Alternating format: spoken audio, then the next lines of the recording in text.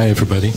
I'm here. Um, I thought this would work out at eye level and uh, and a bit more uh, relaxed. Everybody digesting their lunch, etc. So that's me.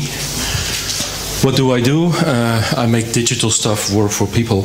Uh, I connect the dots, you could say. I run a design shop in uh, in Berlin, and uh, I've worked with the with the project since the first LGM. That's uh, that's 2006, and uh, this talk is about doing some complicated things or designing.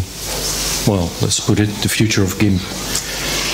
So certainly I realized I've only effectively about 15 minutes to tell you something here.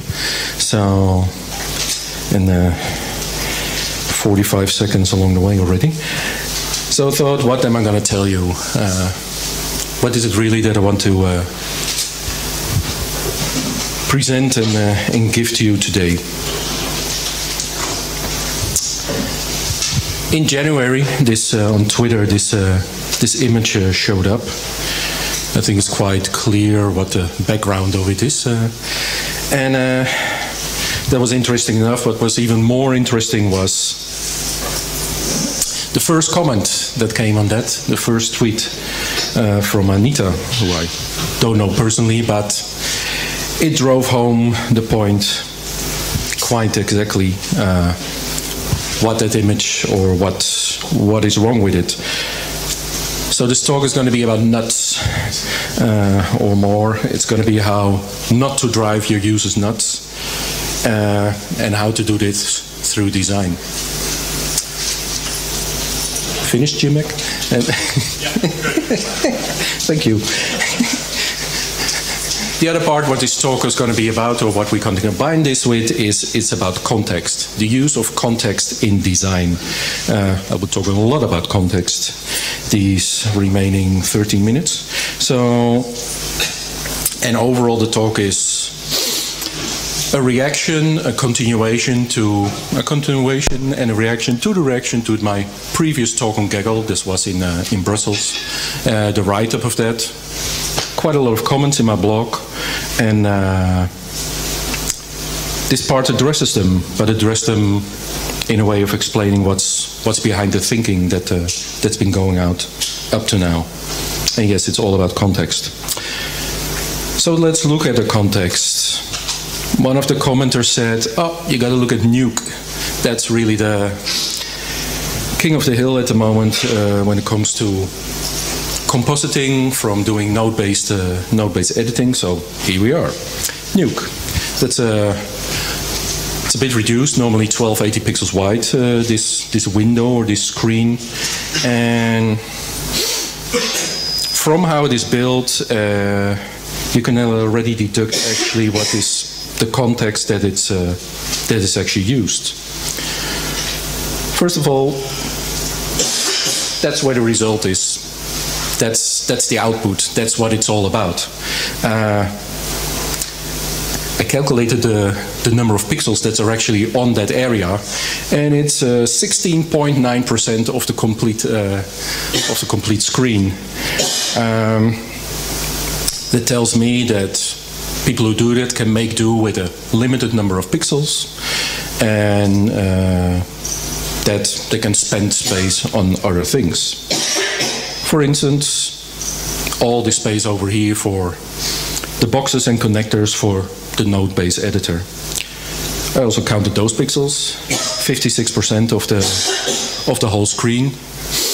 And then I also thought like, oh, let's see how complicated it really is what they put up here. So started counting boxes. 80 boxes are in there. Pippin, have a bonbon. and uh, while I was counting, I suddenly ended up at that that lower corner. And what did I see there? Hmm. A bit enlarged. Not that funny. Uh, I saw what turns out to be a navigator. So you're only seeing a cut of what I would call a DNA new molecule of uh, of actually. Uh, of actual nodes in this graph. And that points at the problem that there is. I must say I was amazed. I thought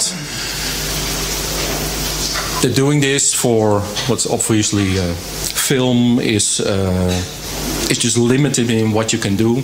Limited because, for instance, the space that is there, or the space reflects how uh, how limited it actually is. But you see, there is a, a good amount of uh, of boxes actually there, and you're just seeing part of it, like part of a DNA module. Another factor really be aware of, and it's a bit hard when you're looking at the still image, is time. Looking at what you're dealing with here is, and it explains why compositing is much farther in uh, moving pictures, is yeah, uh, 60 seconds of 24 frames is 1440 frames per minute, or 1440 images per minute that you have to deal with. And if you want to touch them up, doing that by hand is, well, they used to do it like that, but labor has gone up in price, so uh, you cannot do that today anymore. Uh, another factor that you can see when you think about, okay, this is just something that moves along in time, and every image has got like 1 24th of a second that's actually seen, yes, you can get away with murder. Uh, if it pa passes along very fast, then who's going to really notice it? So thinking about that, like how do you see that you can get away with this murder? I suddenly realized that when you work like this, you need to review your work, and this is watching footage. So watching it for a second or more, what actually happens, what it looked like. So you see that in time, it takes time to review your uh, seconds or more to review your footage. And after you've seen that, you plan your next step and you then need to figure out how in this graph you can actually achieve that or work with your timelines to actually say, here I want to do something extra or do something less or do something else. But you see that in this whole flow there is there is actually time available. Uh, time passes automatically when you are actually watching the footage. So the how you look at or how you experience time in this kind of tasks is set by what you're actually doing. Now we're moving on to GIMP. Took an image, it was one of mine myself. Uh, and yeah, the issue is immediately like the whole thing is filled to the top and bottom edges. Most of the screen is taken up by this image. Now you can say, oh, is that your personal preference to work in this way? That when you work on images, they need to be big, maybe. You know, you always need to check. So you can actually do this in a structured way by looking at the context of GIMP actually. That wasn't me. So you look at product vision, which means a statement of what GIMP is actually supposed to be, what it is for. And it is described there that it's for high-end photo manipulation. Well, bingo, uh, big images uh, can never, your monitor can never be big enough when you're, uh, when you're working on that. Doing original art from found images, uh, again, a case of art serious resolutions or anything, you're, you're up in the thousands of pixels. So again, your view of things can never be big enough. Just about going through the... Mitch also takes a bonbon. uh, the three big groups, and this is already the third. Uh, it's not the whole thing. There's also other assets production, but production of web assets again tells you that, you know, suddenly you need a screens with words, 1000 pixels, or you need to make something that's, that's quite high, or you need to lay out the whole set together to see if it matches. So again, space is needed. So yes, most of the time when working with GIMP, you need a lot of space for your image, which is unlike what you can say of Nuke or Blender. Another factor that's very important in GIMP is that what users do there is handcrafted. Um, you can really say that the artistic or the designer value that is put into the work comes from the handcrafting.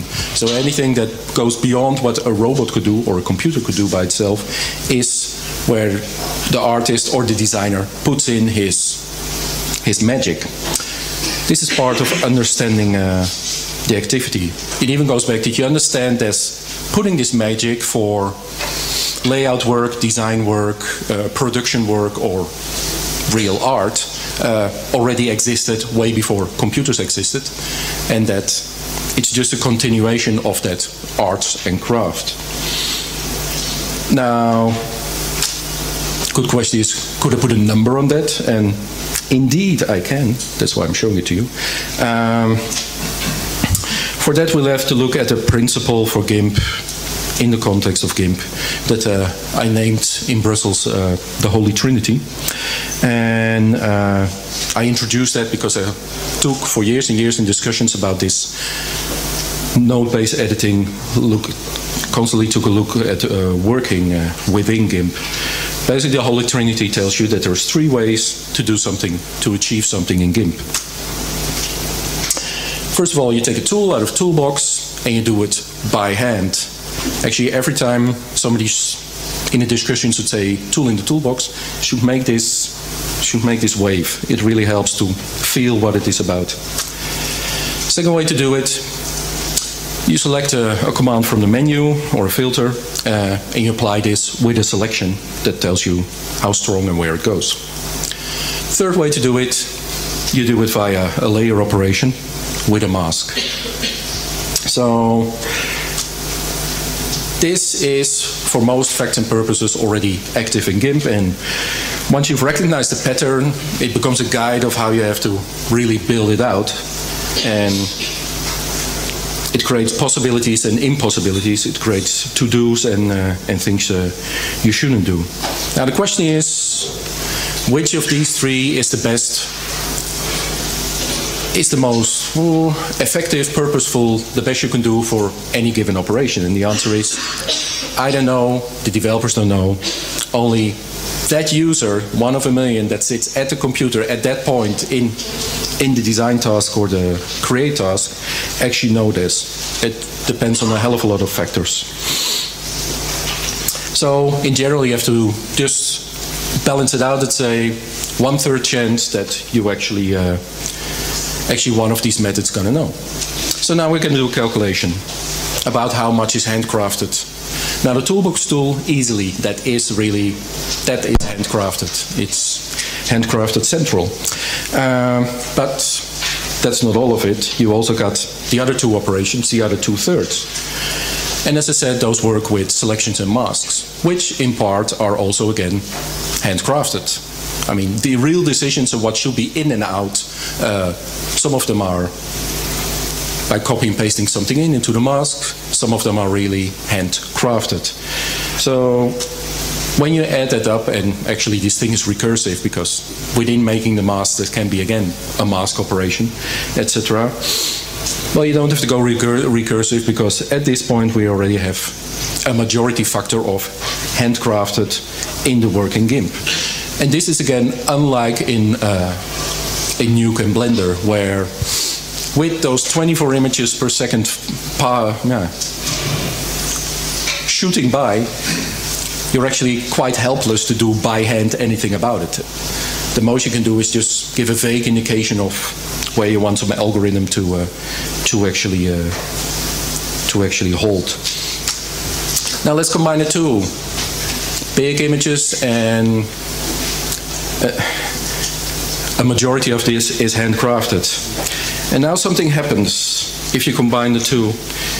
It happens that you, when you concentrate on this and you're working by hand, you get immersed. Basically, what happens to users is you get a tunnel vision of.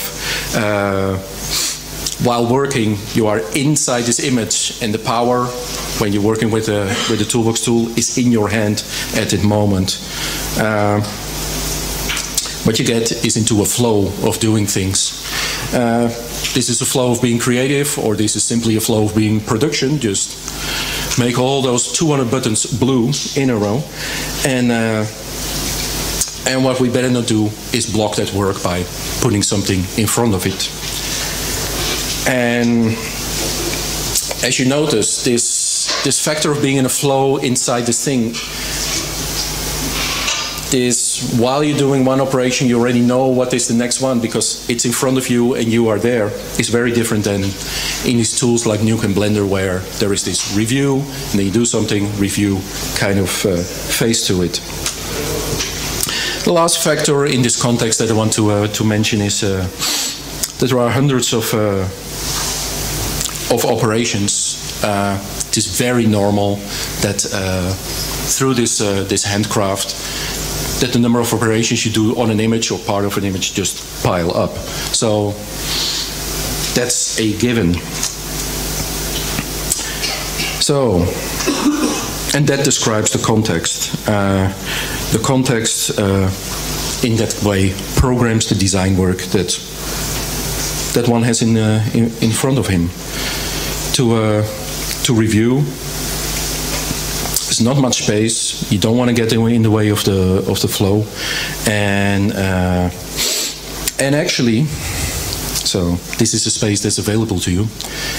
For last week, I've been thinking, you know what? What if I, from this point, make my canvas this small, just to rub it in in for all of us? Like, let's try to work in that in that part of the of the beamer actually. Well, I chickened out. Um, I am gonna, but I hope the message is there. Like, if you want to really work uh, with nodes and with elements, they have to stay away from the black part, and that gray part is, is what at your disposal. Then, the handcrafted this node editing has a one-to-one relationship with this handcrafting activity that happens on that canvas, that part that we couldn't use anywhere. And uh, this node editing has a one-to-one relation with the actual flow that people are in. And as mentioned, hundreds of operations.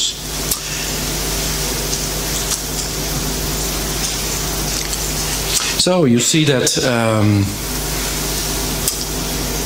the context gives you a lot of burden, but the context also takes it away.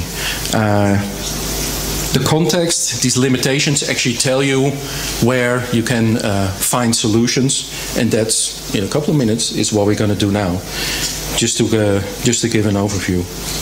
And basically, this context you cannot go in denial of it. You just have to roll with it, and if you don't want to roll with it, you will always be part of the problem.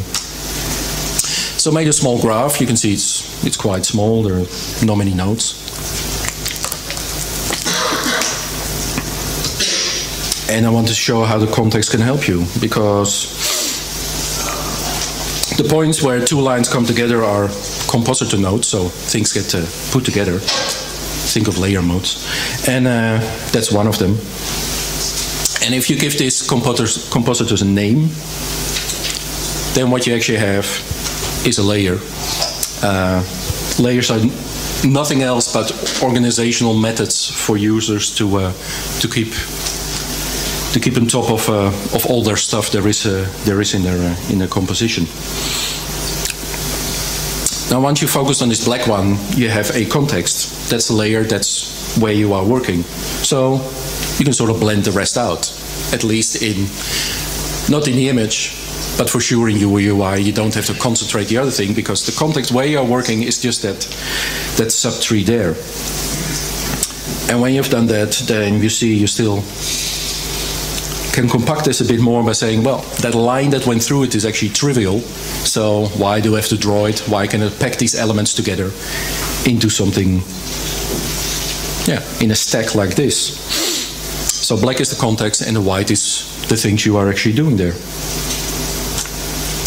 And when you do that, you can block out the rest, and you see that instead of a screen filling graph, that is where your work was. You have a chance to look at your full image, to fully immerse yourself in there, and on the side of that, within the context, have full access to the actual node based, uh, non destructive actions that you're actually doing there.